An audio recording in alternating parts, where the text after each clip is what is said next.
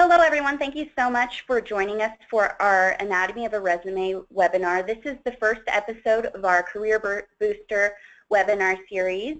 Um, in this specific webinar, we're going to cover constructing a resume and the necessary items that you will need to go through while constructing your resume. Um, as we go through the webinar, please feel free to chat in any questions. The chat box should be on the right-hand side, and we'll address those at the end of the webinar. I'm going to go ahead and go around the room and introduce everyone here. I'm Raylene Jones. We have Doug Dimler. Hello. Jeremy Bell. Good up, good up, excuse me, good morning. And Karen Sampson. Hi, everyone. So um, let's vary greatly based on the type of job we are pursuing, as well as our own. Sorry, guys, just a second. We had a slight technical glitch there. Uh, just a moment. Um, I think Raylene had a question. Yes, let's go ahead and dive right in. Um, Karen, there are so many resume templates that are available online. Is there a good place where you can find an official resume while you're in this resume process? That's a great question, Raylene, and I'm sure one that many of our listeners uh, have. There's so much out there, um, it seems like everyone thinks they're an expert, and you know we like to think that as well. But it can be hard for the average person to kind of gauge what's going to be good content and what they should use. And you know the short answer to that question is it really depends. Uh, um, you know, unfortunately, uh, even some of the Microsoft Word templates can get snagged in certain applicant tracking systems. And then in addition to that, the type of resume that's going to be most appropriate for an individual depends a lot on what that individual's goals are with the type of work that they are looking for as well as their past experience. Now, fortunately, our career services coordinators are trained in the standards from the Professional Association of Resume Writers, and they also participate in the National Association of Colleges and Employers. So they have a great perspective on how to evaluate resumes. So fortunately today, you're truly hearing from the experts.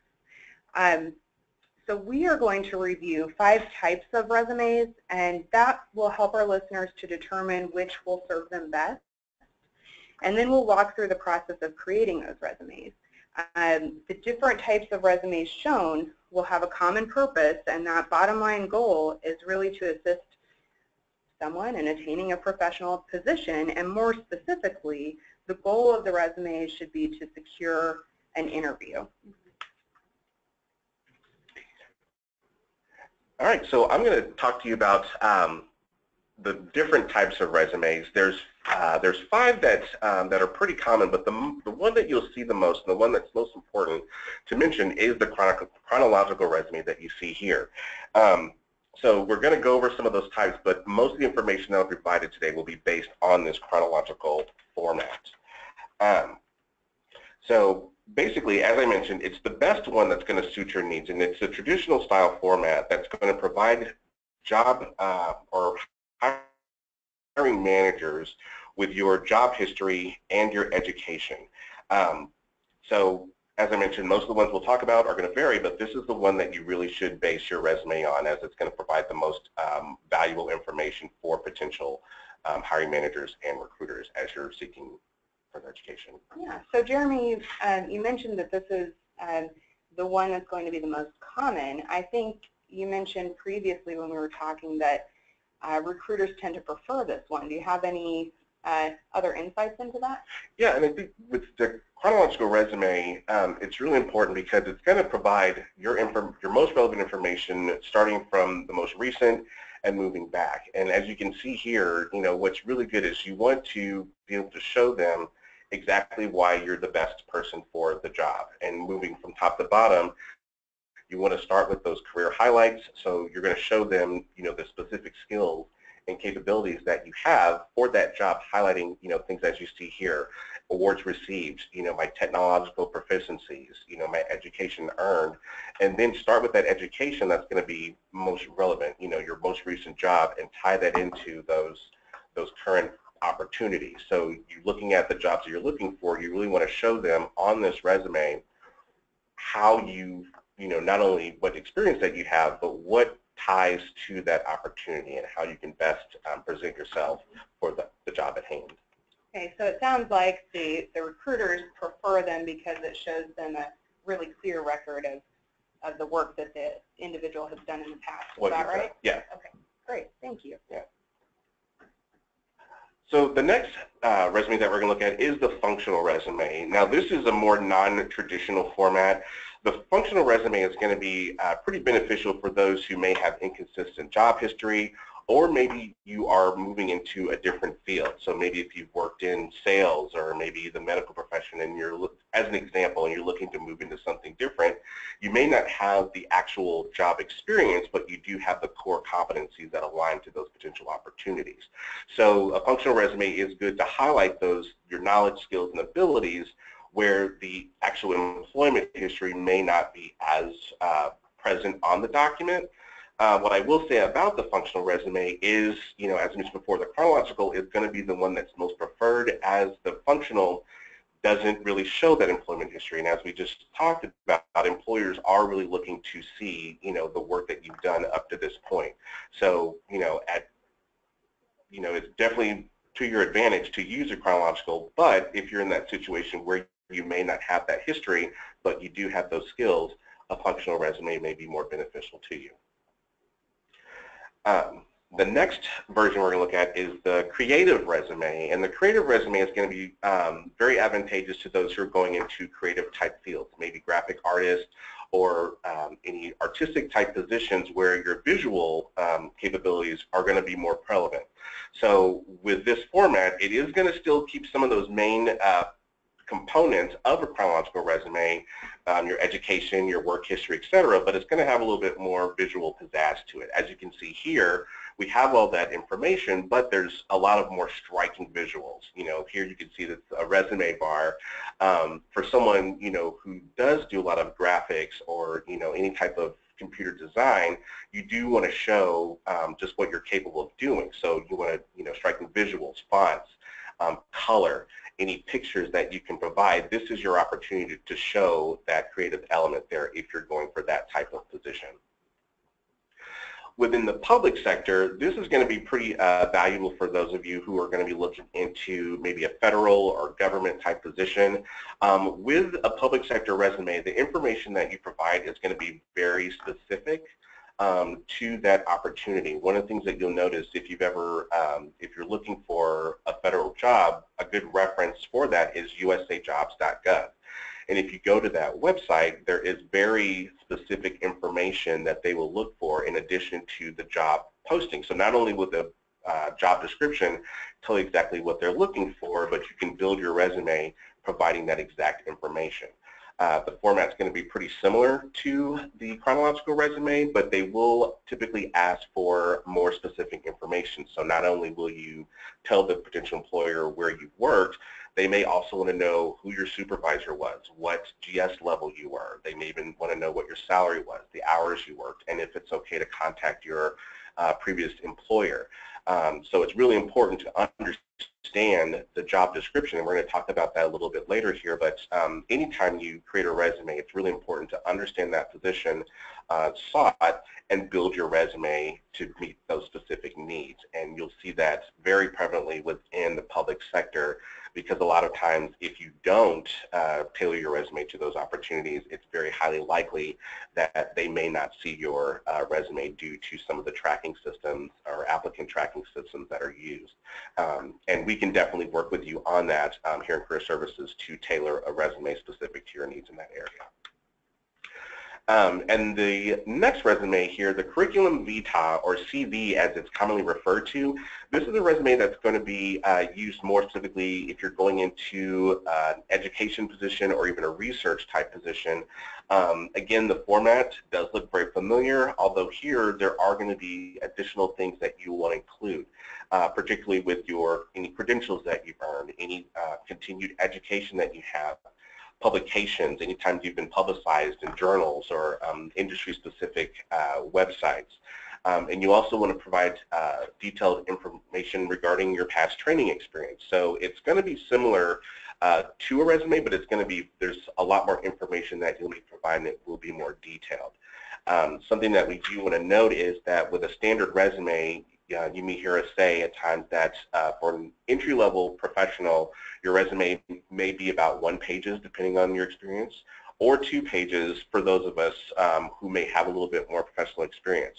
That being said, the public sector and the curriculum vitae or CV will be extensively longer, but your standard resume will be around one to two pages, and we want to generally avoid going any longer than that. Thank you, Jeremy, for reviewing those five types of resumes. Anyone listening, if you need help choosing a specialized resume, you're not sure which type of resume is the best resume for your experience and for the position you're applying for, feel free to contact us at Career Services. Uh, we will help you find the best resume format for the position you're applying for and your previous experience. Um, now that we've sort of reviewed some of those resumes, let's go ahead and dive into the chronological resume um, and the construction process of the chronological resume. But first, um, I'm going to hand it over to Doug. What are some items that uh, applicants and resume writers need to keep in mind while starting the, construct, the, the construction process of a resume? Yeah, sure. Let's take some time to review a few things that we should be considered as we create uh, the resume. First and foremost, you want to uh, conduct yourself with absolute integrity. Uh, start with that foundation of who you are, and it will serve you throughout your career. If you embellish or exaggerate what is on your resume or your qualifications, uh, you're really not delivering what you're promising. Falsifying employment information may lead to termination and could damage your reputation. Remember, it's not about doctoring up your resume it's more about capturing the true essence of your actual capabilities and accomplishments. As we proceed throughout this process, we'll suggest to you that you should choose your words carefully and when possible match, or, and this is important, match your hiring organization's vernacular, meaning make sure that you talk in a way that hiring managers and recruiters can understand, or at least to their own own way of, of understanding. The, if you don't understand that, look at the job posting, and that'll give you their uh, way they word their language. So Doug, it sounds like you're saying that you want to use synonyms, that you're not making things up to fit within that job posting, but you're using your experience and putting it in the hiring organization's language. Right, yeah, exactly. You, you just want to be familiar and, and so the hiring managers and recruiters can easily understand um, the way you're conveying your information. Great, thank you. And brevity, one of the most common mistakes um, made when creating a resume is, is the tendency to add too much information. Um, a resume is not intended to include every detail of your professional history. It should be brief and concise. Uh, include plenty of white space. Uh, don't overwhelm the reader with an onslaught of verbiage.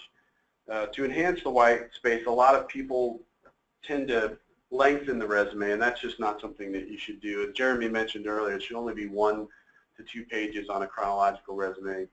Um, so if that gets a little hard for you, then uh, please reach out to us, and we'll help you with that white space and how it should look.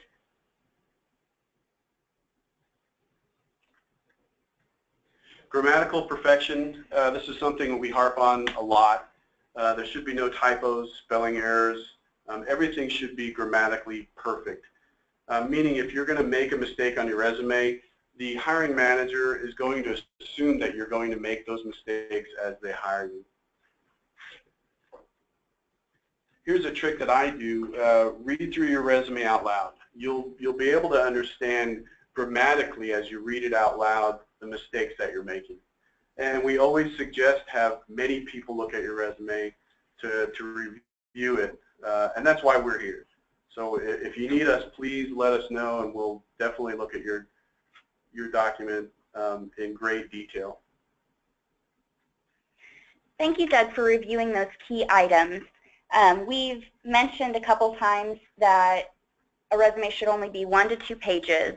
Um, but we have this idea of a master resume. I'm going to go ahead and hand it over to Karen. Um, she's going to explain, you know, should master resumes also be concise in less than two pages, or can they go over that two-page limit? That's a really good question, Raylene. And this is a tool that we recommend highly to our students because this will allow someone as a job seeker to pull the most relevant information out of this master resume, which we would call kind of the mothership of all things that you've ever done. And when you are searching for employment and applying to a lot of different positions, you probably aren't going to want to spend, you know, an hour to two hours building a resume from scratch for every single position you apply to. So what the master resume allows you to do is to kind of have that master document that you can glean the most important things from it to build that tailored resume, that customized resume. So we've said multiple times that your resume has to be tailored. You know, it needs to be no more than one to two pages. But this master resume, you know, again, it's the mothership. So this should include everything plus the kitchen sink that you've ever done in your career um, everything that you're proud of, and this will be the document that you keep up to date throughout your career. So if you do a really awesome project at work and you're excited about it, write it on here immediately so that you always have that record, and when it is time to look for that new opportunity,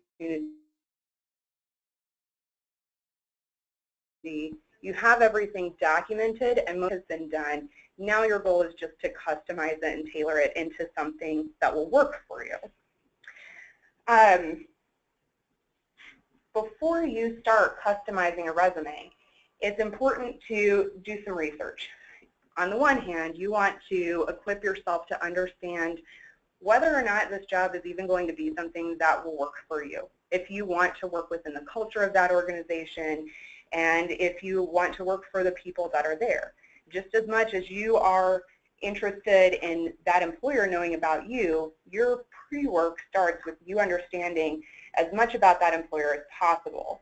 So look at the job posting, dig into that information, look at the specifics of what they're asking for, and build your resume and your accomplishments to that. But don't stop there.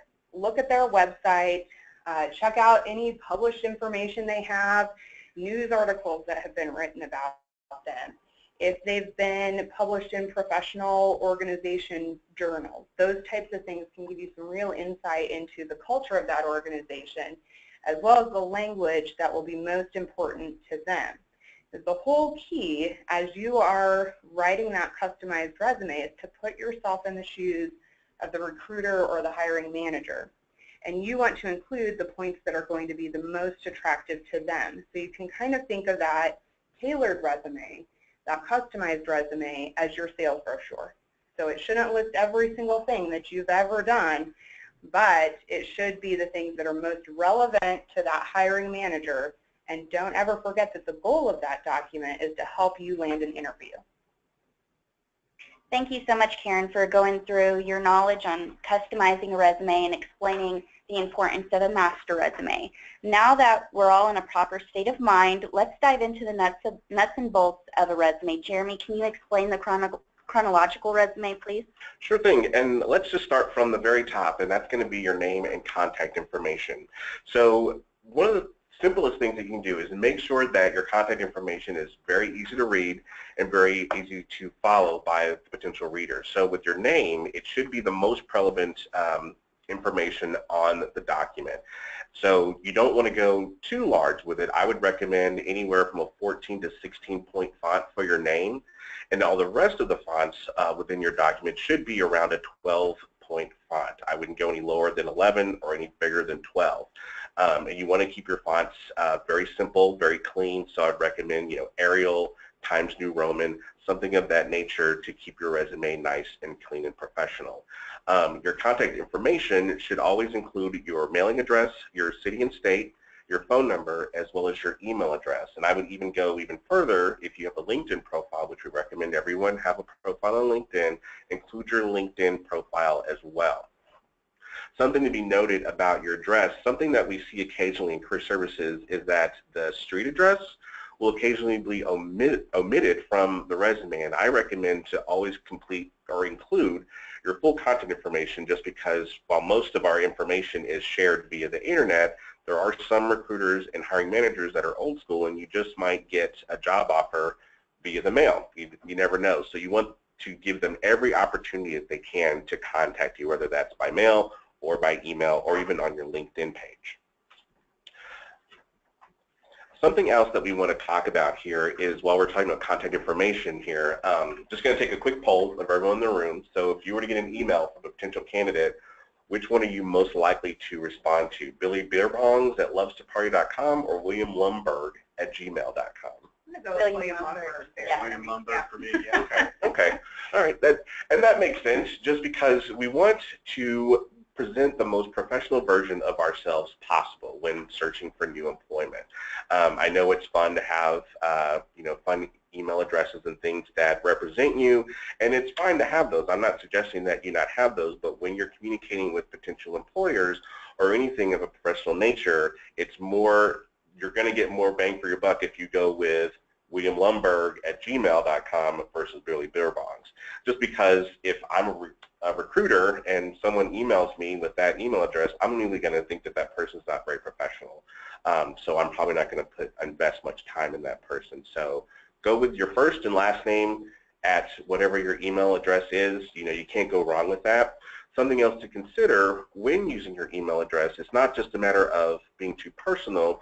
There are some times when you can provide information that may present certain biases for you, which we want to avoid. And what I mean by bias is, for example, if I were to, you know, my email address, if it was Jeremy Bell 77 at grantham.edu, that's really going to tell that person my age. So, you know, we don't want that person to immediately know this is how old I am, this is, you know, this is my faith, this is my political um, affiliation. You want to keep information like that away from your resume. Avoid including any type of personal information on that document that you're going to send out. Something else to consider as well, it's not just your email, but it could also be your voicemail. So your personal voicemail should have, should still have a professional tone to them. So I always suggest keeping your voice greetings very simple. This is Jeremy Bell. I'm sorry I missed your call. Please leave your message, et cetera, et cetera. Avoid anything that's too, you know, don't play games on your voicemail. Don't, you know, say anything that you wouldn't say to someone that could potentially give you a job. So keep it professional and you're going to see more results if you were if you were to make jokes or, you know, do anything other than that. Thank you, Jeremy, for going over the contact information. That's a very important part of the resume. Um, now that we've discussed that information, Doug, what can we do, what can an applicant do to really catch the attention of the hiring manager um, on their resume? Well, they should, and I feel very passionate about this one, it, it should be a, branding statement. Um, and it's located just below your header um, of your contact information and it includes uh, an introduction that summarizes what you offer to a prospective employer. We've, we've picked out some things that you can call this section, either professional summary, professional overview, summary of qualifications, and key capabilities. The, this is a, a good example of what not to do. Um, what the, the first thing that jumps out at me is it's, it's an objective statement which refers to what you are seeking. So if we look here, um, to obtain a responsible marketing position, right away it states what you want rather than what you can offer. This is an example of what a professional summary uh, more should look like. Um, you are presenting your skills and how those skills will be beneficial to an organization. If you need any help with this, since it's located towards the top of your resume, um, please let your career services coordinators know and they can assemble a master branding statement that reflects a composite of your knowledge, skills, and abilities. Thank you, Doug, for going over the branding statement. It's very important on your resume because that's the first impression that the hiring, hiring manager receives of you. Um, going down to the next section, section in the resume, we've sort of had a conversation about this. What comes first, education or work? And I'm going to turn that over to Karen. What should an a resume have listed first, the education or the work experience? Oh, that's, that's a good question and one that we have debated even internally, primarily because it's, it depends so much on the individual's work experience and their goals, kind of coming back to that same thing. Um, you really want to put yourself in the shoes of that hiring manager and determine which of those pieces, which of those elements is going to be most attractive to that potential employer. Most resumes for professional level jobs, so if you've been in the field for a while, you're applying for a promotional opportunity, a management position, kind of that next step up, uh, will lead with work experience. And that's because after a certain point in someone's career, it's kind of the assumption that they will have that education kind of checking off the box, and that's what the recruiter is looking for. And the most important thing to that recruiter will be the work experience. Um, and this can vary. So if the education is going to lead, it would be because um, the individual had kind of limited professional experience or that it was just non-existent. So maybe they come fresh out of high school and, and right into college and they're looking for that very first entry-level position. Typically you can tell whether or not the employer is focused on that education piece based on the information that's listed in the job posting.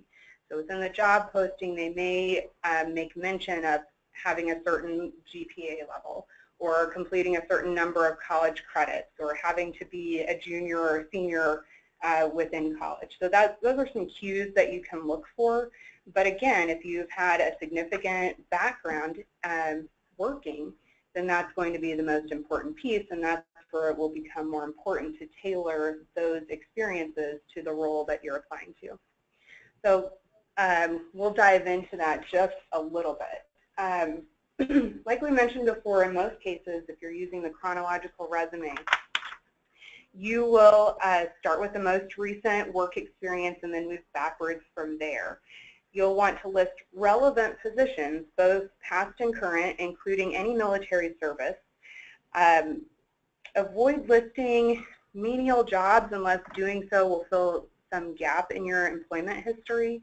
And when I say menial positions, I mean if you are a business analyst by day and you are working in the evenings um, as a cashier at a gas station, you probably wouldn't list that moonlighting experience on there. Um, but otherwise, nearly any job experience can be made relevant if it's appropriately tailored to the desired position. So, you know, we're going to kind of come back to that idea and that concept of building a sales brochure that's going to help you get your foot in the door. let's take a look at what that would look like on a resume. So here's a brief example, and we'll build this out, but uh, for each entry, uh, you'll want to include the name of the organization, the dates that you were there, and then a brief, very brief synopsis of some information about that employer. So it should be one to two lines and use descriptors that give the reader some insight into what that organization does also the size of that organization. And that's important because depending on the role that you're applying to, it's a very different type of environment to work for an organization that has about 20 employees versus someone who has 20,000 employees. And so that hiring manager will want to know an idea of the scope of work that's been in your past. So reference the industry, the number of employees. You could include some revenue information if it's a public organization. Um, you'll show the year that you began with that organization and the year that you left. So I want to make note that the months are left off, and that is done intentionally. Um, if you've had multiple jobs with the same employer, you would list them all after that employer heading and the total dates of, of service with that organization let's build on that just a little bit. Oh, did you have a question? I did, Karen. So say a person has a relevant job experience they'd like to list, but it's only five months. Should they list 2014 to 2014 and go ahead and leave the months off in that case? Uh, again, it depends on the context of the entire work history. So let's say that is kind of a blip in somebody's job record. And other than that, they've been at organizations for, you know, five years or, or maybe they were just in that one position at an organization for five months. Um, in that case, I would say it's probably okay to go ahead and list years and leave the, the um, month and date off.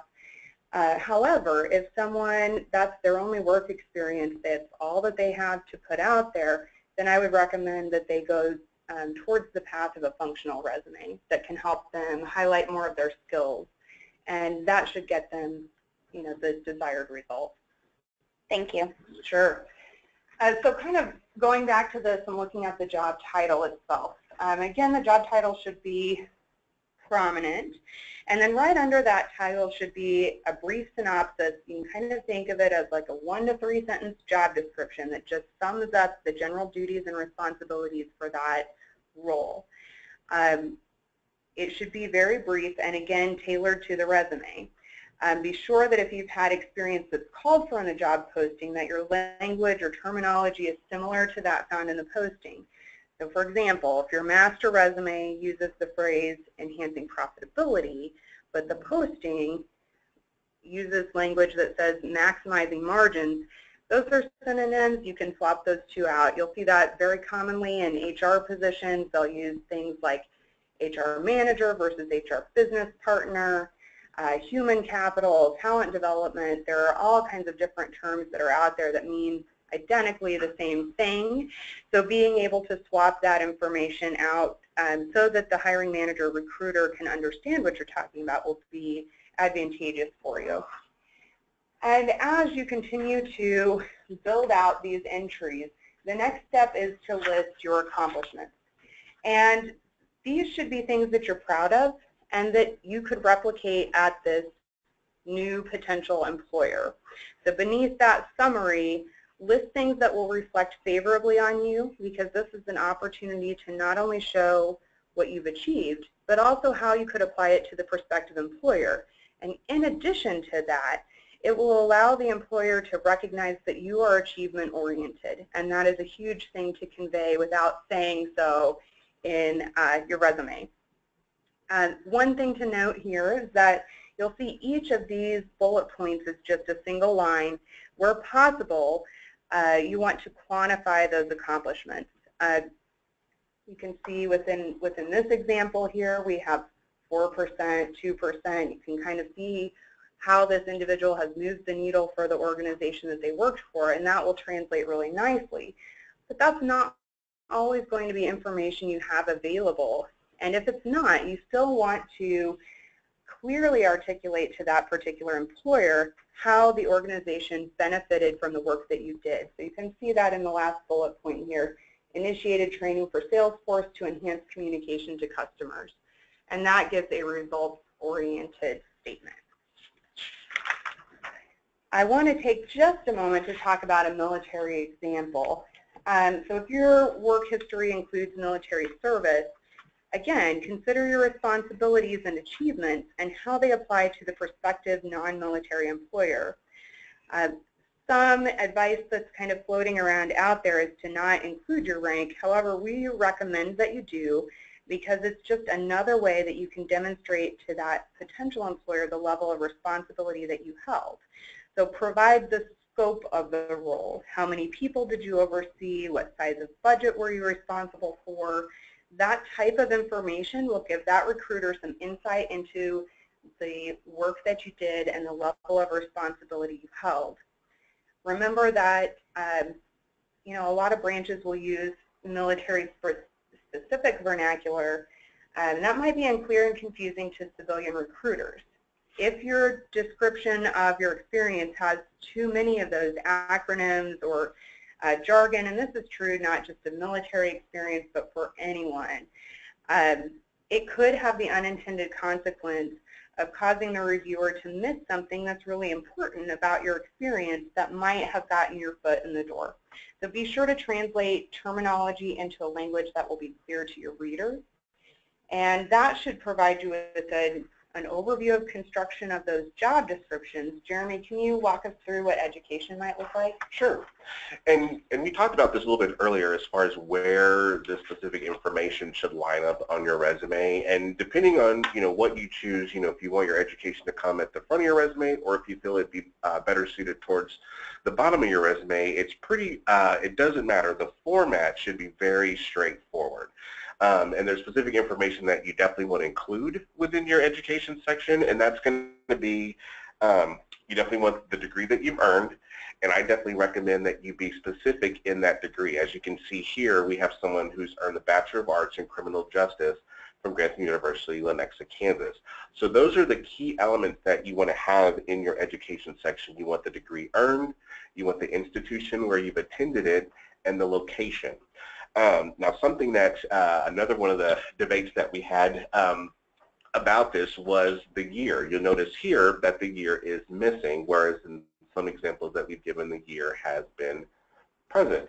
So um, one of the things I will recommend, the time that you definitely want to have the year is if you're currently pursuing your degree. So if you are currently working on your bachelor's degree, and let's say you expect to be done by summer of 2017, for that potential hiring manager, it's going to be important for them to know that you know you're working on the degree and you plan to be finished at this specific time.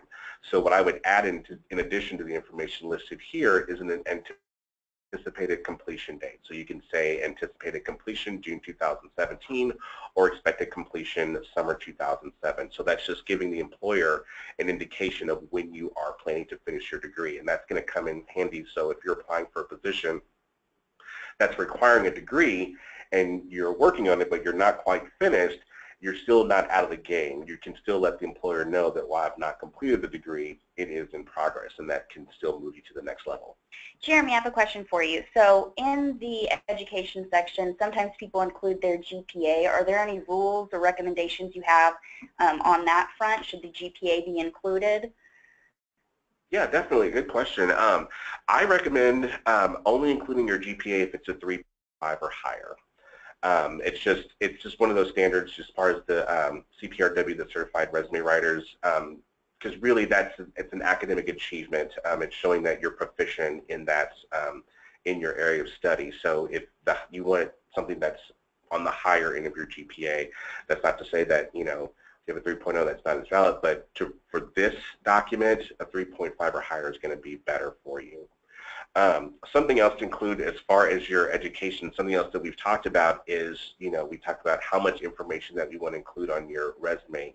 And something that's common um, is that you definitely don't want to go back too far on your information. Something that we'll talk about is um, your work history. You know, you don't want to go back as far as any further than 10 years on your experience. But with your education, you really don't want to go any further back than your collegiate experience. So to include your high school information, you don't want to do that. So if you're currently um, in college, and I always recommend, like, even if you just started on your associate's degree, once you've entered higher education, your high school information is no longer relevant on your document. So I would just stick to your collegiate information and move forward from there.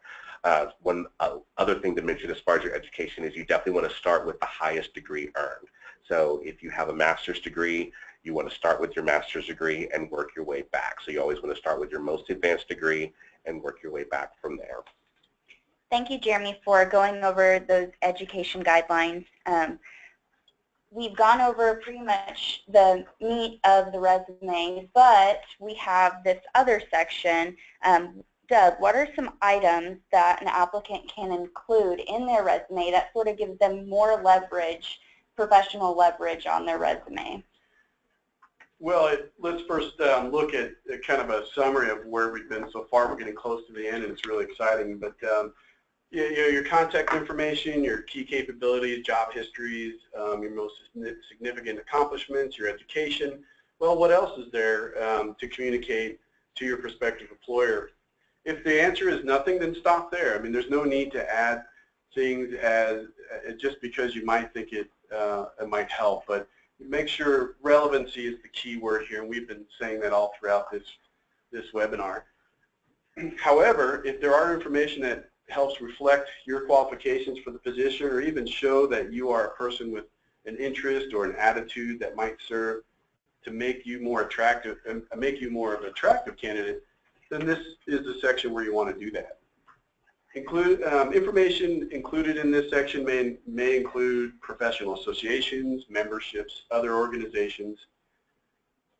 If uh, you include these, make sure that you, they are relevant to the position you're applying to. Even other things to include is maybe leadership roles, professional uh, certifications, or special interests. Even personal interests, uh, and again, I, I want to stress this only if it pertains to, to the position that you're applying to.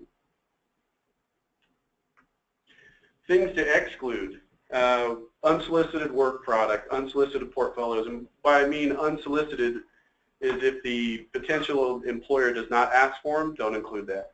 Other things are photographs and references. Uh, it's just not needed for them. Um, references should be kept on a separate page. Uh, they will ask for them as part of a different process uh, for an employer. Uh, even the phrase references available upon request do not have on a resume. It's just not needed. Thank you, Doug, for explaining that last piece. And thank you, everyone, for joining us. To, to provide you um, with a more comprehensive um, education and resources, we recommend that you do sign up for the Career Launch. We will send you all of the sign-up information in a follow-up email along with more information on our future webinars that we will have um, available to you. We're, at this time, we're going to go ahead and open up for questions. Jeremy, why don't you go ahead and read some of those chat questions we got. Thanks, Raylene. Um, and the first question we had is from David Parker. Do you recommend anything special for a job that is no longer in business? Um, I would definitely say my opinion on that is even if the business is out, if they're no longer in business, you still want to include that on your resume. I wouldn't omit that if the company is no longer there. Um, I would be prepared to speak to that if you get to the point where you are called in for an interview and there maybe is a background or reference check. Um, I would make it known that you did work there, provide information, but make it known that that company is no longer in service. Yeah, you may also prep yourself with a reference from that organization. You know, if you know anyone who's still in your professional network that you can reach out to that can kind of provide you with that, you know, vouch for you to say, yes, you really worked there. Um, but most times even, you know, your tax history, your background check, all of that, it should still be verifiable. But that experience is important, so I would say include it. Yeah. All right, um, so Robert asked, I currently hold an Associate's in Business Management, but I'm working on my bachelor's in the same field. When completed, should I put both on the same resume or just the highest one achieved? I would say just the highest one achieved. If they're the same degree, it's basically the associate's, you're, it's the first half of the bachelor. So once you've completed it, I, now I would say to include both. While you're currently working on the business management degree, you can still list your associates as a completed degree because you do have an associate's, and you could have your bachelor's listed as to be anticipated or completed at a specific time. But once that highest degree is earned, you can, I would recommend just listing the, the bachelor's degree. So if the associate's is in a different field or a different degree, have them both listed. Correct. But if they're the same, go ahead and consolidate once you've earned the higher degree. Right. Okay. Exactly. All right. Um, next question from Curtis.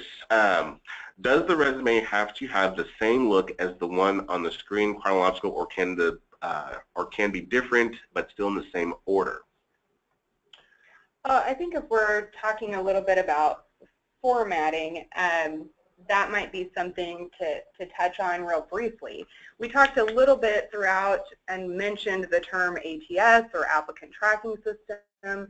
One of the things to be conscientious of as a job seeker is that many larger employers have software that can screen resumes for them.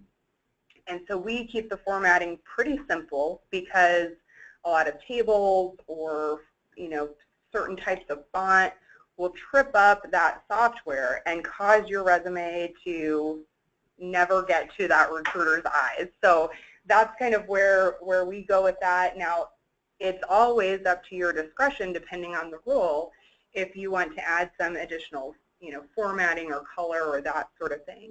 Um, particularly as in the example of that creative resume. But I'm sure Jeremy or Doug might have some additional insight on that. As far as the format, Um, I think would, I would keep it pretty straightforward. Um, the chronological is definitely the best way to go um, for any resume. Now, your how you design or how you know what you you know how you feel comfortable with the resume on paper. You know, it's I think there's definitely a difference between the resume that you hand in you know, you give some literally hand to someone versus the resume that you submit online. I think the resume that you submit online, as Karen mentioned with ATS, that's when you want to be really conscientious of exactly how you format the bullets and things like that because it is going to make the difference between it getting to the right person. Whereas if you hand the, the resume to someone, you can be a little bit more creative. Yeah, I, I think with that is, uh, you know, keep it simple. And, and we had talked about where you place education and you have any questions, let us know. As far as uh, applicant tracking systems, not all applicant tracking systems are alike. So in other words, one company might purchase one software for an applicant tracking system and another company might purchase another software system uh, for an applicant tracking system. And, and it doesn't really matter whether it's a large company or a small company because even a large company who you would think could have a lot of resources would would get the latest and greatest of applicant tracking systems, but that's not even the case.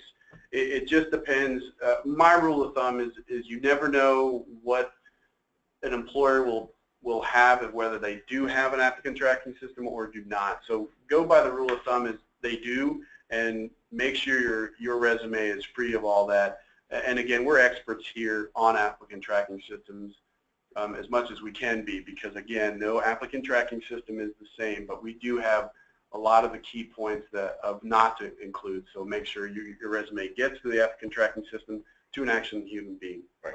Mm-hmm. Yeah, and the only other thing I would add to that is just, you know, we talked about it before um, with tailoring your resume, and I think another key point of that is not so much the format, you know, that you choose for your resume, it's really the content of your resume. Because as we talked about before, you know, as Karen mentioned, doing your research, understanding, you know, just the specifics of the job in, entails. So, you know, pay attention to the qualifications, pay attention to the attributes, pay attention to the expectations, and as much of that specific language that you can tie into your to your resume, that's going to make a huge difference because just like with the public sector and USA Jobs, as I mentioned before, there's very specific information that they're going to look for. Um, so the more that you can speak their language and you know speak to those opportunities directly, it's going to make getting to getting through those various systems a lot easier because as Doug mentioned, not every tracking system is the same.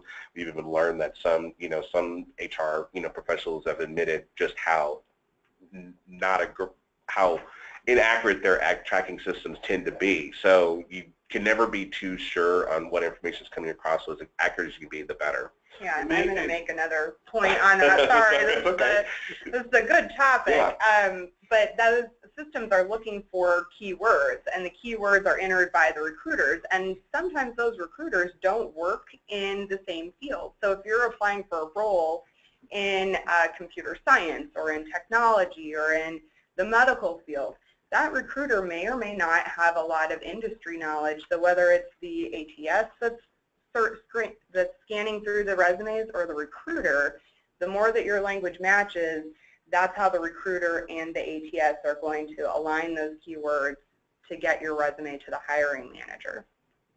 Yeah, I think I think when you're talking about keywords, uh, that's exactly what uh, an applicant tracking system does. First, it looks for keywords, then it looks for um, spelling and grammatical errors.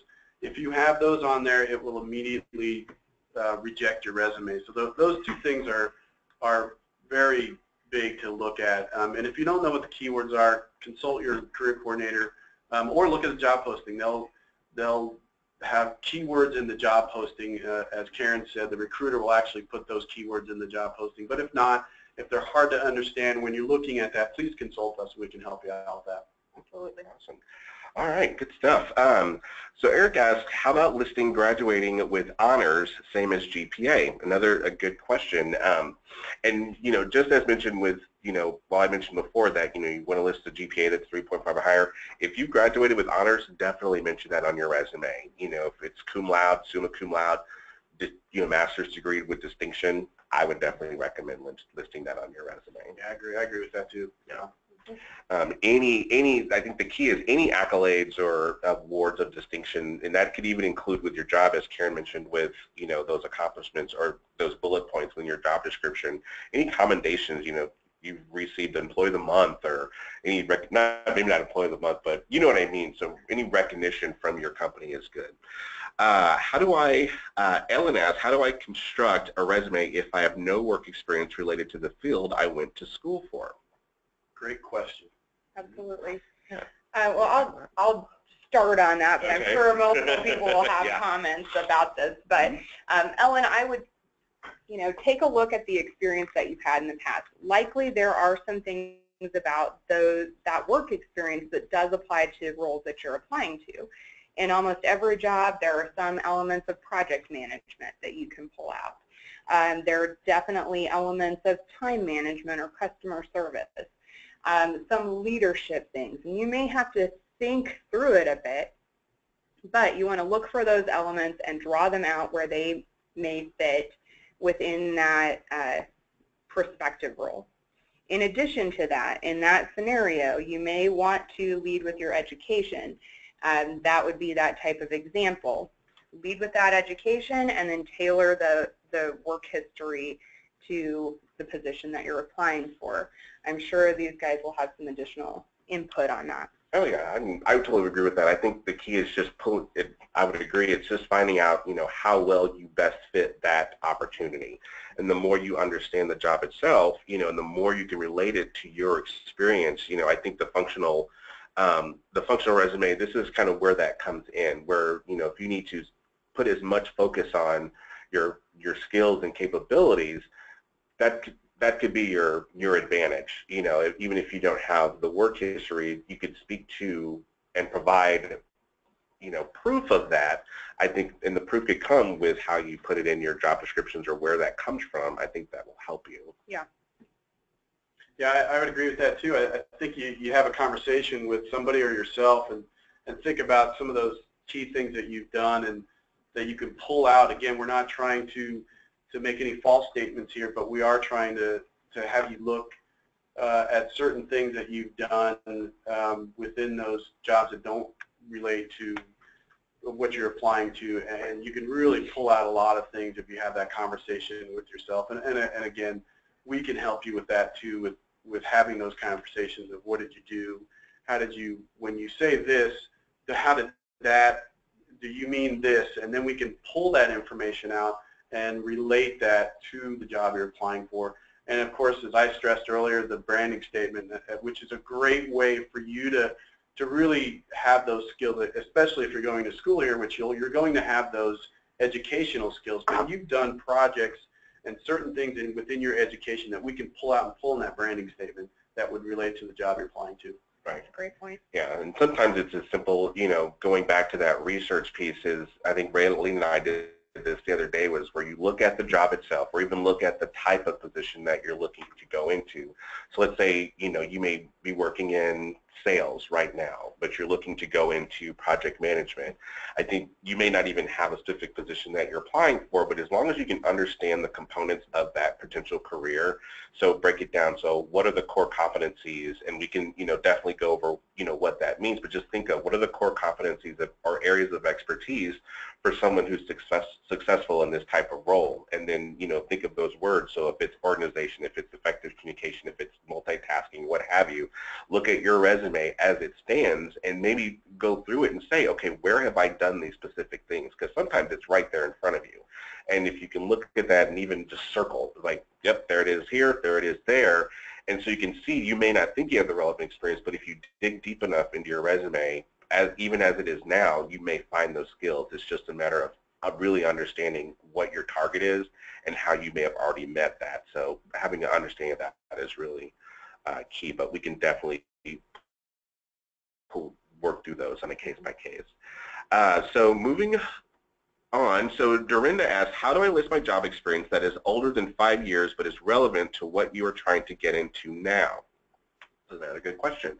Um, and I think definitely, you know, as we talked about, if that, let's say if your information is, your job history goes back further than that, you can definitely promote that. You know, you could have a, a section for relevant job history, um, and promote that towards the top of your resume so they can see that, you know, this is the work that I've done, even if it has been a little while since I've done it, and then have, you know, follow that with an additional work uh, history section that could cover maybe the job that you're in now or any other significant pieces. So, you know, again, we don't, I don't think personally you want to go back too far unless it's relevant. So if you're working in a specific industry now, even going back to saying,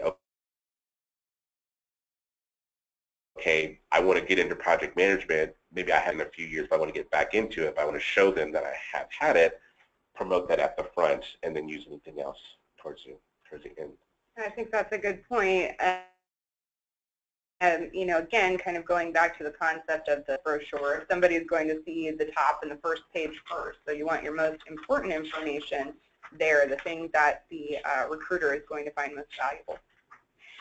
I think just my opinion on that is if you have experience in the field, but it's more than 10 years old, you still have that experience. That would be the key words and certifications that you can add into your branding statement that qualify you for the position that you're applying for and make you look good and qualified to the hiring manager who's, who's looking through your resume. That's a really good point. A lot of times in the branding statement, you might list, you know, project manager with 25 years of experience, and that could be one of those statements that you pull in.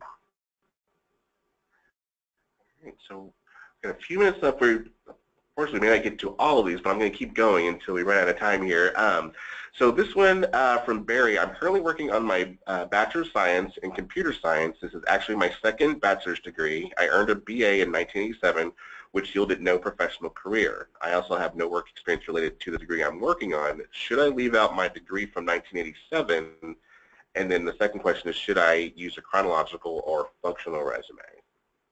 Question. Doug, do you want to take this as our engineering computer science guy? I, I definitely look at uh, the functional resume um, and, and don't rule out the chronological resume. Um, and what was what was his degree in 1987? Did he list what it, what that was? Uh, Um, it just says uh, BA in 87. Okay. If it's relevant to what you're looking for now, list it. If not, don't.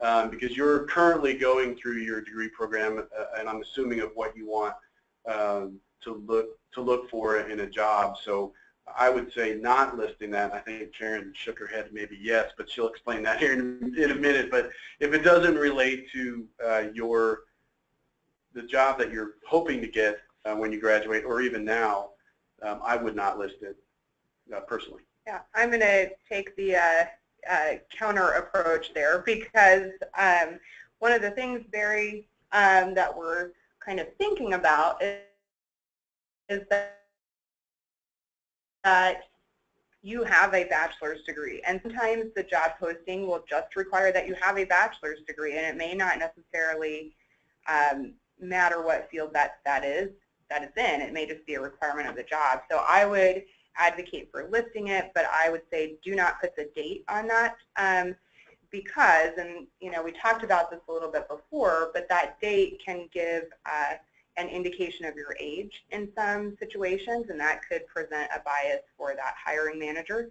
So I would say don't list the date, but list the degree and uh, and That then was- also the one, the current one that you're working on with an anticipated date. That was my next thought when I handed it to Karen was if, you know, you just leave off the date if you've already completed your, your bachelor's in 1987, it doesn't really matter as long as you've completed your bachelor's, just leave off the 1987 on it. All right. So the next question from Ellen. Um, I have a BA in criminal justice and I also have an associate degree in graphic design. Should I put my degree in graphic design even though my focus is in the public sector? And I think, you know, again, it's, it's kind of the same thing where, you know, you don't want to omit any education that you have. I think any of that education is going to be relevant. So, you know, I would, again, list both just as Karen mentioned before. Besides your high school experience, don't include your high school experience. Oh, yeah. Have Yeah. college experience. Correct. Yeah. so, so the high school at this at this point, pretty much the high school is a given. Yeah. So, all right, we're gonna do one more. Uh,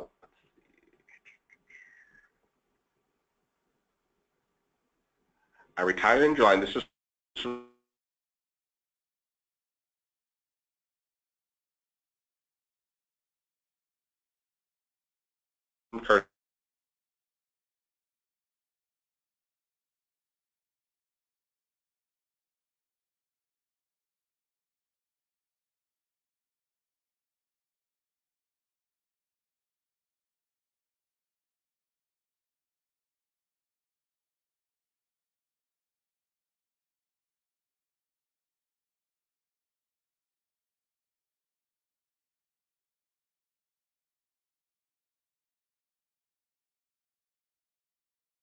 pursuing, but you want to start that process so there's no surprises. You know, and that also includes networking. You know, you definitely want to start networking and asking questions from people. Um, so yeah, I would definitely uh, start that uh, as soon as possible. Um, are there, uh, let's see, let's I go. think we may uh, continue with uh, questions so that we can get to everybody. But for those of you who may be short on time, you're welcome to drop off, and we will um, include the recording of the rest of the questions within our follow-up email. So you should be able to access that and listen to those if we haven't gotten to yours yet. But we'll continue to go through and answer the rest of these questions. All right. Um, so the next one from uh, Rebecca asked, I know, let's see. Okay, I'm just going to, um, I know this may seem silly, but much like Elle Woods did in Legally Blonde, she was submitting her resume in a very straight-laced law firm, but she added her own creativity and gave them a taste of what she is as a person. Would you say that is something that can put you over the top, or would you say that's not something that's really important when applying for a basic job, i.e. universities and corporations? Very good question, Rebecca. Rebecca, I have a couple initial thoughts on that. So, you know, you're welcome to put your personal flair on it, but you're gambling. You know, it's a risk that you're taking to, you know, I mean, maybe that potential employer, is that's going to be something that they value, maybe not. I mean, it's a total, uh, you know, gamble on what they're looking for. Um, unfortunately, or fortunately, um, depending on how you look at it, this is one of those times where I would recommend that you play it safe because um, you can have that opportunity, get your foot in the door, and then you're more than welcome to express yourself at that point. But much like dressing for the job interview, you know, a lot of people that we talk to want to have that own personal touch and they want to have a little creativity, a little color out there, you know, wear their dangly earrings, whatever it might be. Um, but again, it's a gamble, and you never know who's going to be sitting across from that table or reviewing your resume, so it's a good rule of thumb to play it safe.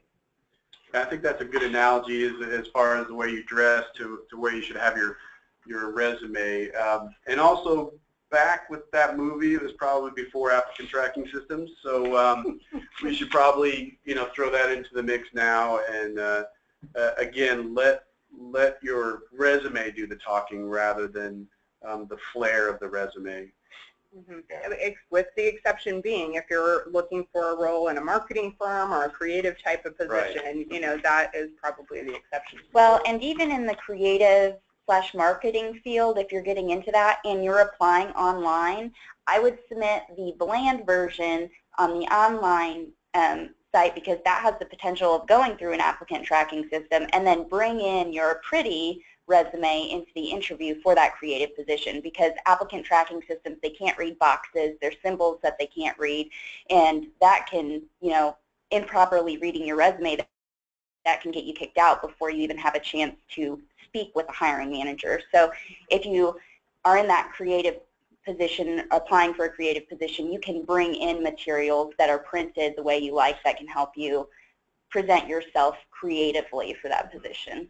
Or you can mail them, you know. Yeah. I know that was old school, It's but, old school, but. but use the snail mail. Yeah, and it goes a lot faster than it used to. It does, yeah. All right, so Narissa asked, is it better to upload a resume or complete the one that they have on the website? Good question. Um, my, uh, my answer to that is to do both. I think uh, a lot of times when you, on those websites, they will, you do have the option to submit your resume, but they will also ask you to complete out, complete the application. So I always recommend doing both because when it's got to follow those instructions and um, they may need the information in more than one format. So, but I definitely recommend and, you know, there's a difference between the resume you upload and the application that they walk you through. So the application is a detailed history, whereas your resume, again, is your sales brochure, mm -hmm. so to speak.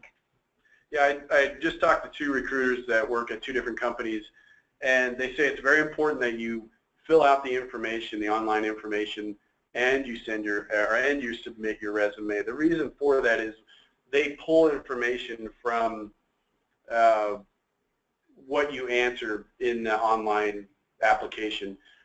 And some some of, if you submit your resume, they might pull information from there, but make sure you complete the information. It's always, it's always good to complete the information that they have because that's their process. And then the resume, when they ask for you to submit your resume, you need to do that too. And that's coming from the, the recruiters that I just talked to yesterday. It was good information. Um, so really, I know it takes a lot of time and, it, and sometimes it may take 30 minutes to an hour or more to do all of these things uh, for one company, but it's really uh, beneficial to you. Well, and I think also uploading the document along with answering the fields or the boxes in the application, when you upload the document, that gives the hiring manager a nice little package that they can open and print off to prepare for the interview. And that's really important because you want to make the hiring job, hiring manager's job as easy as you can because that makes you look favorable in their eyes. Absolutely, good point. The only other thing I would add um, with uploading your document on some of those application sites is to definitely, again, be careful of your formatting because sometimes that information or even the layout that you have on your document can sometimes get um, reformatted or even distorted a little bit once it's gone through their system. So maybe, again, you know, we talked a lot about Flair and using those different things, if you know you're going to be uploading it directly to that website, you may want to simplify it even more just for that and just in case um, it may get distorted or Yeah. even reformatted. For that reason also, I recommend uh, using a PDF file or transferring your Word document to a PDF, and that keeps your formatting intact through that system. All right, uh, next question from Sean, um, or no, actually it's one from Robert. Is it okay to have breaks in the dates? Um, yeah, it's it, it's definitely okay to have breaks in the dates, um, or as we refer to gaps um, in your employment, I guess you would say. And I think it, that's fine. Um, if you, I think I would definitely just say if you have those breaks, if you can't fill them with maybe some other information, like maybe you had a part-time job or you did some other work, you definitely want to be able to speak to those in the interview. So if you have any period of time for which you weren't working, I would just suggest to be able to, you know, if the employer asks you about it, be prepared to speak to it. Yeah, you can also fill in with volunteer experiences, if that was a period of time where you were going to school but you weren't working, those might be things to include. If it's too spotty and too inconsistent, then you may want to opt for a functional resume, um, and that kind of lets your competencies speak rather than um, your gaps. I think another thing, um, in addition what Karen just said, is if there's a lot of gaps or if there's, it's just confusing for the hiring manager to see the, you know, to understand the gaps, then you might want to include a cover letter. Uh, the only reason why you wouldn't want to include that cover letter when there is gaps is when they say, please no cover letters. But generally, uh, you don't see that too often now, but you, they just don't ask for them. But a great way to explain your gaps is a cover letter. Also, you might want to look into a functional resume, which is for a more unconventional work history. That could also be an option for you. Good thought. All right, so uh, Sean asks, referencing grammatical perfection when using bullet points, I noticed that you left off periods at the end of each statement. Should I follow suit? Yes, um, the, the bullet point is not a full sentence, um, and even in our example where we start listing out the um, brief description under the organization or under the um, job title, none of those are complete sentences. Your goal here is to keep things brief, so you want short, quick statements that are easy to read for that hiring manager. Um, I think Raylene has a I do. I have something that I don't think we mentioned mm-hmm. as a tip. Do not use personal pronouns in your descriptions, in your branding statement, in your job descriptions. You don't want to say, I did this. The hiring manager knows that you did it because it's your resume. Say, start with a verb or an action verb that says maintained, manage, administrate. You know, you don't have to write I, me, my every time because that's, you know, it's your resume. Of course, it was you that did that. Yeah, very good. All right. Uh, and Corey asks, so if you have been at one company 15 years, don't list anything before that? Um, I think if you, if you, honestly, I think that's a special case. If you have been with the same company for that amount of time, you definitely want to list that. Um, I think if it's, if it's been one position, you know, if it's been, if you've held the same position for a considerable amount of time, then, you know, I definitely would want to list, you know, all that relative history. But I think if you have multiple jobs with the same company that happen to go back 15 years, you may want to uh, look a little bit more carefully at that experience to think, okay, what falls beyond that threshold that I may want to omit from that document. Well, yeah, and in generally in those cases, when you've been with a company for 15 years, you're moving up in the ranks. So those higher, you know, those higher qualified positions like manager are going to be more important than, you know, your entry level position when you first started with the company.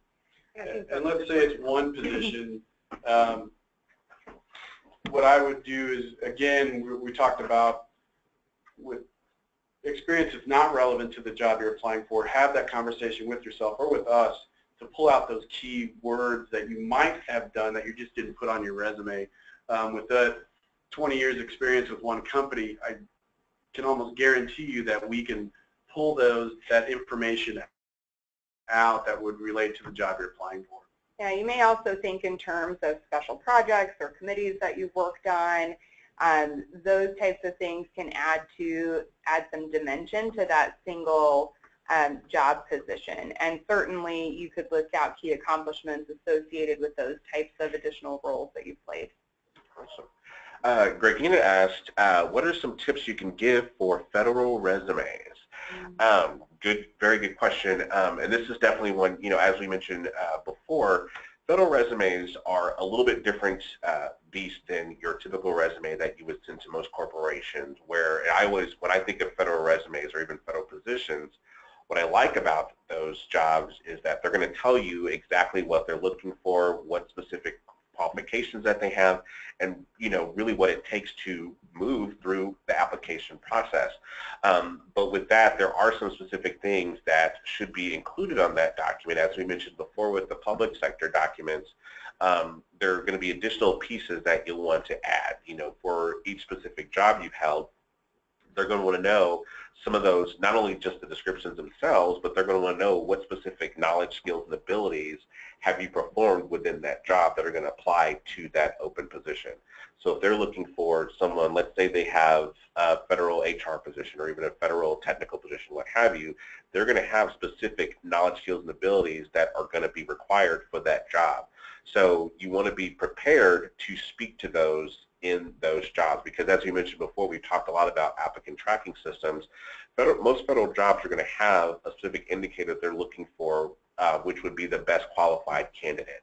Um, and for those who meet that, those are going to be the ones that are going to make it to the next step in the application process. So as much as you can meet that uh, beforehand, so when you go to those sites, really read the positions. There's also an occupational questionnaire um, that will typically be included that you want to be able to answer those specific questions. So it's not, you know, it's not like most corporate jobs or even professional jobs where, you know, you send um, your resume in to the best of your knowledge. They want specific information. Um, but uh, in addition to that, you know, there's just some other mechanical things um, that uh, they're going to ask for. So, you know, they don't want to, they won't want to know just where you worked and how long you worked there. They want to know who your supervisor is. They want to, they may want to know how, what your salary was. They may want to know, you know, if it's all right if they contact that supervisor directly. And we have uh, specific formats and information um, that we can provide for you um, to create your federal resume. Any of us can definitely work with you to create that. And um, and that is definitely something that we're going to tackle, you know, moving forward within this series, is federal um, employment applications. We have done one in the past on the application process, um, and we are going to be doing more of that. But at any time, you can definitely contact us, and we can work with you to create a um, a uh, specific federal resume moving forward. Um, let's see, we have a few more here. So. Uh, Andrew asked, what if there is a company they can't call due to a settlement, but they can email only? Um, I think that's not information that you would include on the resume, but in um, once that employer has determined that they want to bring you on board, if they ask for references, that might be the point that you share that information with the employer. Uh, it's definitely, I would not list it on that uh, resume or on the application unless it's specifically asked for. Cross that bridge when you get to it. Right. Uh, and Lindsay asked, when doing an education section, should you specify how you earned your degree, as in online or on campus? Um, and I, my straightforward answer to that is I wouldn't, I wouldn't indicate either or. I think, you know, regardless of the format, um, and we're just in an environment now where online is so common now, regardless of the university, that that's really not uh, an important point. So if you've got a degree from Grantham University, really all they need to know is the university, the location, and um, what degree you actually earned, but I wouldn't uh, worry about putting whether it was online or not. Yeah, most, I mean, it's just not, uh, not commonplace to see that listed on a resume, and yeah, it, it's kind of irrelevant because you've earned a degree. Right. That's the important part. Well, and sort of what Karen covered earlier is that the um, the education section in the, a lot of situations is sort of a checkbox for the hiring manager in that um, they want to look through to see if you're qualified for the position and then, oh, do they have an education? Yes, check. They're, they can work in this position. So just keep that in mind. All right. Um, and Corey asked, where do you suggest placing the military job listing if you are currently serving in an active reserve capacity? Um, and I think you're, you know, regardless of if it's military or civilian, I think you're going to list your information in the same format. Um, I think your your information may be a little bit different, um, but I think it's not going to vary um, whether you're uh, whether your current status in the military. You're still going to want to format um, your resume in the same manner as if you were any other way. Yeah, the only thing that I'm wondering if you're kind of trying to get at is if you have a current full-time job and you're also serving in a reserve capacity, in which case I would list your current full-time job first and then list the reserve um, or guard duty second. Did you guys have any other comments on that? I, I think that that's a good way to look at it. Um, I, I think if it's relevant experience that you you have in, in the military that you're currently doing, it, I don't I don't know if it matters if you list it first or not, but um, if it's not relevant and you do have another job, then of course you know, list your other job and try to pull out those those keywords there. But I, I don't I don't see it being any different, um, especially if it relates to the job you're applying to. Yeah, that's a good point. All right. So uh, a couple other quick questions here. Um, will the presentation be available for attendees? Yes. Um, and then uh, Andrew asked, would certifications go under education? And um, I think, yeah, um, I think there's a a way that you can do that. One way, if you wanted to have one section for education, you could list your specific degrees. If you have certifications or even multiple certifications, you may list uh, continued education and list those um, or any additional education or relevant um, certifications that you have. That would be fine. Yeah, um, sometimes people will list it, list that section as certification for education and certification Yeah. and combine the two um, or you can have a separate section. Again, it kind of depends on the amount of white space you have and how you're fleshing in your resume otherwise. But Yeah, I've seen this on a um, on several resumes where people with past military experience have their military training, which is a type of education. Um, I normally recommend that they put it in a separate section. And again, it's imperative that you only include the trainings and education that is relevant to the position you're going into. So say you have military training in terrorism, but you're going into a field that that's not even a, a consideration in, you wouldn't necessarily need to list that training. But if you have military training in um, human resources and you're going for a human resources position, of course you want to put that on there because that gives you professional leverage for the position. great point. All right. So just, uh, would it be okay to include any volunteer work? Um, and my answer to that would be yes. Again, like as, as Raylene said, if it's relevant. Um, but I wouldn't, uh, I don't know. I think it's, I think it's, it's worth mentioning on there, you know, Yeah. but I think it's valid if it depend, you know, it depends, like on if it's relevant to that position, include it. If it's not, then don't. Um, kind of going back to like I work in HR, I also volunteer on a city human relations commission. That's pretty relevant to the type of work that I do, so I might include that. Now, if I volunteered um, at my child's school and it wasn't relevant to the type of work that I was doing, I wouldn't include it. But if I were going into a position where I was going to be working with children, I might include that experience. So kind of depends again. Yeah, and something else, and thinking about that, you know, you may also want to consider, consider what volunteer work that you did that's that could be tied to the work that you already do. I know, you know, for us, for example, you know, we've provided uh, the same services that we've done outside of the institution. So, you know, we've worked with veterans, we've worked with, you know, folks with Goodwill. Goodwill, the Goodwill Industries. Um, so it's, you know, it's vol technically it's volunteer work, but we're doing the same thing. So if you consider something like that, maybe there's work that you do that you've provided, you know, on your own time or, you know, just as an outreach or goodwill effort, that's definitely something to consider as well. A follow-up question for that. If the volunteer experience is more than 10 years old, should they include it on the resume? No. No. No. No. Okay. Same rules apply. Okay, last question. Um, from uh, Kenneth, you mentioned not to have any references. I always have heard it's good to have references or even a letter of recommendation. Um, and I think you are right. I think it is good to have those. Um, I think Doug may have mentioned this earlier, is that with the, um, and just to restate this, you know, we see a lot of times on resumes, we'll see that one famous section at the end where references will be available upon request. And really, that's kind of a given. So, you know, in any application or any job process, the usually that there's one stage in the process after you've gone through the interview is they're going to check your references. Um, so while so we don't feel it's necessary to have it on your resume, but you should have a list of res, of your references readily available, al along with letters of recommendation. The only other thing I would add to that is whoever you choose as your references, choose them wisely, you know, and that's uh, that could be the case for both your personal and your professional references or anyone that you're going to get letters of recommendation from.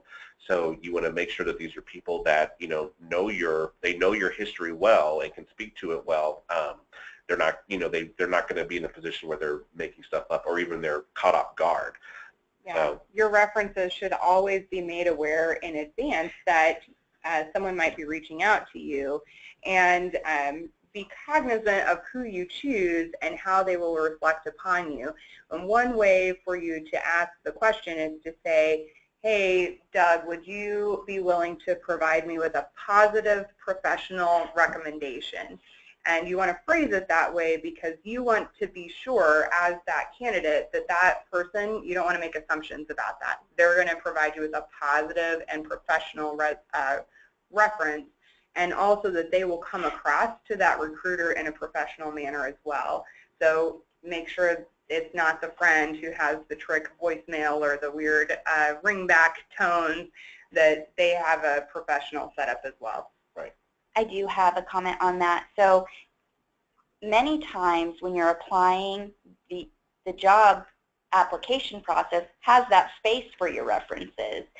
So, I mean, always bring your references with you in paper form in the interview, but they probably already have that information through the application process. And something, a little trick that I do, you know, when you're applying for a new position and you have your list of references, they've okayed that they will be a reference for you, you can go ahead and send them your updated resume just for them to reference to know, you know, what you've been doing in this, you know, past year or so since since you've been personally in contact with them. That's a great That's a point. really good point. Yeah. You know, To piggyback, on- I'm sorry. Go No, ahead. I, no, go ahead. I was just gonna, I was gonna say the resume, you know, the resume and having an idea of their work history is a good point because, you know, I can even think of, of experiences where I've worked with someone, you know, I've had a, you know, a really good, strong relationship with them, but that job could have been in 2008 or 2007. I don't, I may not know much about their work history since we worked together, and if I don't know what they've done between 2008 and 2017, that may put me at a disadvantage if that recruiter were to call me and ask me about that work. So I think that's a good, that's what I was going to say. It's a good point to have that information ready. Yeah, I was going to piggyback off that. So let's say you're, you know, you know, you've gone from one job to another, and years have gone by, um, and you're using the same references. Always get back to those people and say, hey, I'm on the job hunt again. Um, can I use you as a reference? Um, and the reason why, when I first started out, I didn't have professional references. I just had personal references. but I still talked to them about what they would say and how they would say it. And as time went on, I, I've gotten more professional references and, and former supervisors, which is always great to do, and if you can lead to that, that's great.